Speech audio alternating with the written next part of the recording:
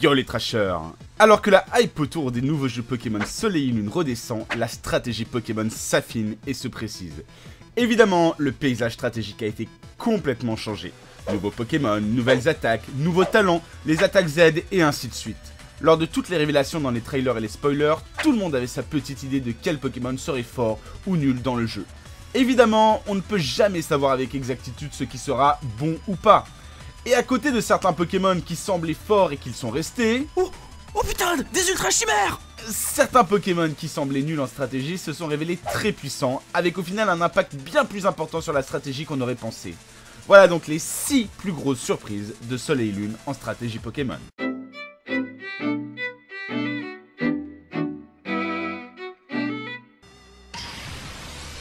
Numéro 6 on va commencer tranquillement avec Oratoria, mais surtout parler du phénomène des starters de Pokémon Soleil et Lune. Quand ces derniers ont été révélés, personne ou presque ne tablait sur Otakin. Entre la classe posée de Flamiaou et le côté ultra mignon de Brindibou, son côté un peu clownesque est très mal passé du côté des fans. Étant moi-même dans le camp des starters hauts depuis la première génération, j'étais très déçu du look de ce truc. Puis les évolutions ont été révélées et c'était encore pire. Très sérieusement, qui trouver ce truc cool. Euh, moi je l'aimais bien ce Pokémon. À toi ta gueule et puis sont arrivés les statistiques et les types, et là, Oratoria s'est révélé comme étant juste le meilleur des starters. Il possède en effet un double type au fait excellent, lui permettant de gérer des menaces omniprésentes telles que Trioxydre, Tokopisco ou encore Amphinobi. Ces statistiques sont spécifiques mais parfaitement adaptées à gérer les Pokémon tapant sur le spécial. Et même offensivement, il faut rappeler qu'Oratoria tape plus fort que des bourrins comme Fulguris ou Sulfura. De plus, son combo de stab sont très puissants et se suffisent pas mal, Psycho lui permettant de gérer les types poison qui pourraient l'emmerder. Définitivement le meilleur des starters, une sorte d'Azumarine spécial. Bonne revanche au taquin Numéro 5 on reste dans le type eau avec Tarambule, un Pokémon insectéo qui n'a pas été révélé avant le début du jeu, et on comprend pourquoi vu le truc. Statistique de merde, Pokémon plus lent que le Ménard, double type moyen sans plus avec une magnifique faiblesse au piège de rock qui fait pas trop plaisir et move pool médiocre. Mais alors, qu'est-ce qui rend ce Pokémon aussi puissant? Eh bien, c'est son talent Aquabulle.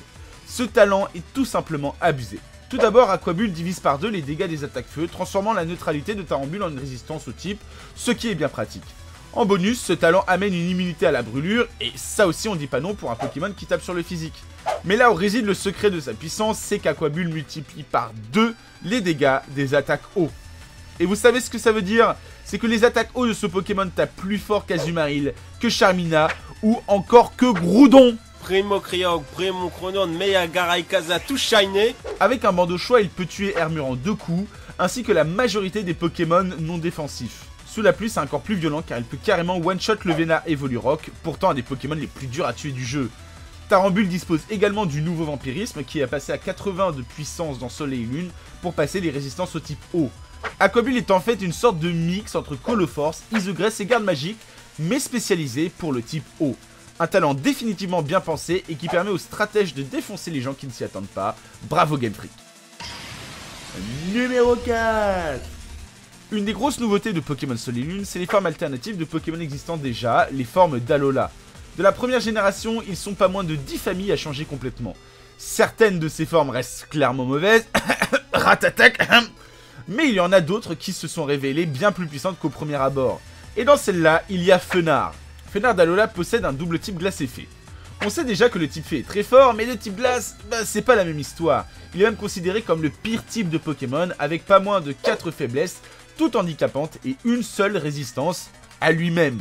En plus de ça, Fenard a vraiment des statistiques médiocres, à part une vitesse sympa.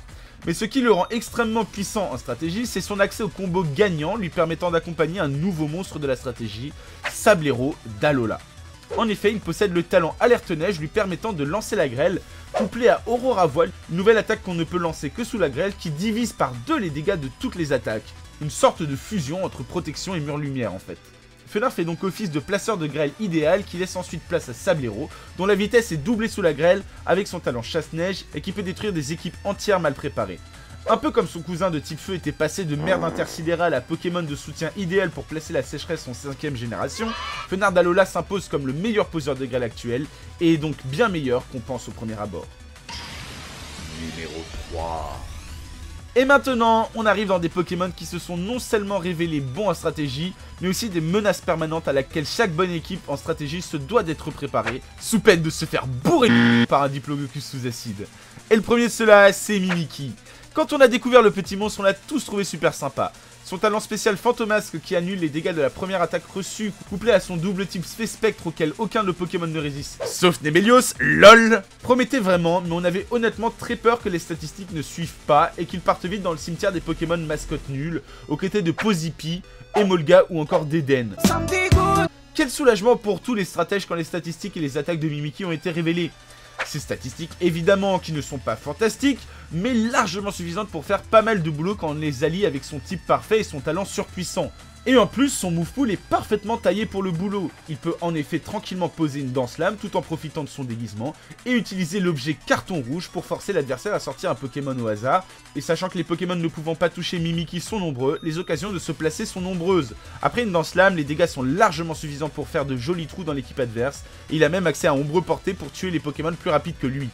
Vraiment sympa ce Pokémon, tout est cool chez lui, du concept jusqu'à la matière de jouer. Numéro 2 le Pokémon suivant ressemble à Mimiki, sauf que lui, personne ne l'a vu venir. Il s'agit de Meteno. Alors lui, quand on l'a vu pour la première fois, on s'en battait tellement les couilles que personne se souvenait de lui quand les jeux sont sortis. Et pourtant, quand on le regarde de plus près, cette sorte de bout de rocher casse bien les bouches. Son talent bouclier carcan est en effet idéal pour se placer. Sous forme météore, Meteno tank plutôt bien les coups et est insensible aux attaques de statut. Il peut ainsi parfaitement placer le truc le rendant abusé, Exuviation, qui multiplie son attaque, sa vitesse et son attaque spéciale par 2. Et quand il passera à moins de 50% de sa vie avec une petite attaque, c'est là que le fun commence. Sans en attaque, sans vent en vitesse, il dépassera absolument tous les Pokémon du jeu. Et si vous l'équipez d'une herbe blanche qui restaurera la perte en défense et défense spéciale d'exuviation, vous obtiendrez en bonus une acrobatie avec des dégâts doublés sans compter le stab. Avec l'âme de rock et séisme, vous finissez parfaitement la couverture et vous êtes prêt à détruire les adversaires ne s'y attendaient pas. Si votre adversaire ne possède pas de priorité et que son équipe a pris quelques petits dégâts en avance, vous êtes sûr de le détruire, tout bêtement. Extrêmement puissant et parfait pour vous foutre de la gueule de votre petit cousin. Ou du patron de Pokémon Trash. Ça fait mal quand même tes pièges là, euh, putain. Mais par contre maintenant tu sais que je vais faire une puissance cachée donc tu vas switcher. Putain mais comment il est plus rapide? Mais... C'est une boule Mais c'est de la merde ce Pokémon, comment Mais non Oh non Et le numéro 1 et le meilleur Pokémon, celui qui est passé de trucs sympas à top tier en l'espace de quelques semaines, celui dont certains parlaient super mal, dont moi, je l'avoue, c'est Ossature d'Alola. En découvrant des statistiques identiques à celles d'Ossature, Pokémon classe mais complètement naze, je pensais honnêtement qu'il ne percerait jamais. Et pourtant, le mois dernier, Ossature d'Alola était dans 27% des équipes sur Pokémon Showdown, le plus gros simulateur stratégique. Il était ainsi le deuxième Pokémon le plus utilisé du jeu. La raison de ce succès, son double type tout simplement excellent et son talent paratonnerre qui le rend insensible aux attaques électriques. Ossature d'Alola possède ainsi pas moins de 3 immunités et un nombre ahurissant de 7 résistances, dont les combos annulent complètement certains Pokémon offensifs très utilisés tels que Tokorico, Kankrolov, Kartana ou encore Cablifère. Mais ses avantages défensifs ne sont pas les seuls avec son accès à la masse os qui double son attaque et le rend plus puissant que Primo Groudon ou Mega Mewtwo X.